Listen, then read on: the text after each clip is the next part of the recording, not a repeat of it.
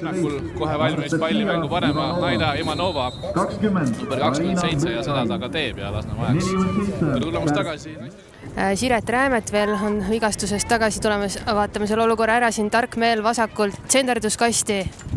ja värava eest Kristina Teerni, üks Kuressaare endine mängija leiab teise üles ja üheteistkümnendal minutil Flora üks-null juhtima läheb täitsa, täitsa üksinda oli ta siin jäänud küll viie kasti joonele umbes Teern ja suurepärane pall ka tarkmeelelt.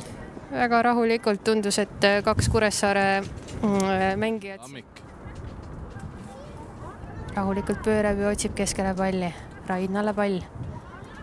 Tammik tundub, et on äh, täitsa seal ründaja all sageli mängimas ja oi kui kaugelt ja oi kui hästi paneb Marta Raidna selle palli lati alla ja lööb Flora kaks-null juhtima siin kuueteistkümnendal minutil juba ja mäletad, Rasmus, ma ütlesin enne, et Raidnal on päris hea löök jalas ja nüüd see sa sai tunned, kinnitust. sa tunned Marta Raidnat ja päris hästi tuleb välja.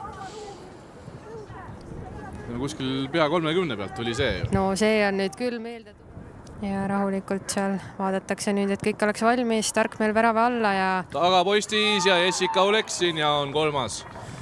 on kolmas ja me oleme üheksateistkümnendal minutil alles. Suurepärane nurgalöök ja Uleksin oli selleks valmis ka. ja tõeline väravate sadu ja lust siin Flora naiskonna poolelt käib, aga söödavad seal kolmekesi tammikul pall. Tammik veel tarkmeelele, tarkmeel paneb palli ka kasti ja Teern ja neljas. Kristina Teern lööb kohe oma neljanda, kohe Flora neljanda siia kolmandale otsa ja tema endale kontosse on nüüd see nüüd teiseks väravaks jälle nurgalöögi järel jälle mängitakse lahti ja tsenderdustega ei saa ta kohe üldse hakkama. kolm neljast on siis tsenderduste pealt tulnud. kõrgele ja seda nad näitavad ka siin mängus, et, et ääre nii, tuleb löögikoht ja viies. Elina Tarkmeel kogu meie kiidulaulu tulemusena paneb nüüd ühe, ise ka ühe ikkagi alla nurka ära ja lõpetame selle poole ja tundub, et viis-null seisu pealt. jah, ma nüüd ei julge rohkem kiita, sa ütlesid, et kiita ei tohi, Ei tohi aga, kiita tegelikult, aga jah. ambitsioonikas. igaks juhuks ka taha. Ja Keter põhjusega Saarve. muidugi, aga Kalinina paneb värava peale ja palli latti lööb praegu Kalinina otse. Tarkmeel Todeltseva, Tammik saab nüüd üks-ühele, Tammik saab üks-ühele väravahiga, jookseb väravahist mööda, võetakse ta maha ja siin on FC Flora naiskonnale penalti.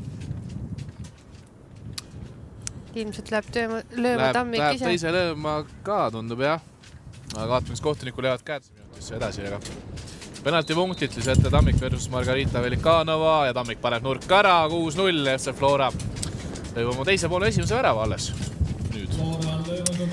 jah, teise poole esimene värav ja seitsmekümne kolmandal minutil. paremale, kus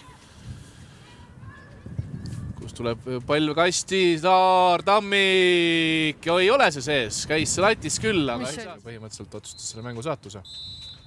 ja ei tule ka lisaminuteid, annab kohe kohtunik lõpu üle üheksakümne minuti täitudes kuus-null. alustab siis valitsev Eesti meister FC Flora seda ho- hooaega